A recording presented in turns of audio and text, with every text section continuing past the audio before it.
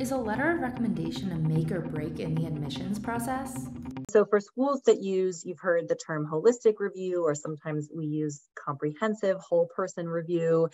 Um, it means that each factor is considered in context with the other parts of, of the information that we receive. So there's going to be no sort of one single factor that's kind of like the make or break. It's really about how we are putting the pieces together about what we're learning about you, about your academic accomplishments, about your alignment with the particular school to which you are applying and its academic curriculum and sort of enrollment um, goals, and all of that comes together. So it's impossible to define any particular factor as sort of make or break because it's it depends upon a selective process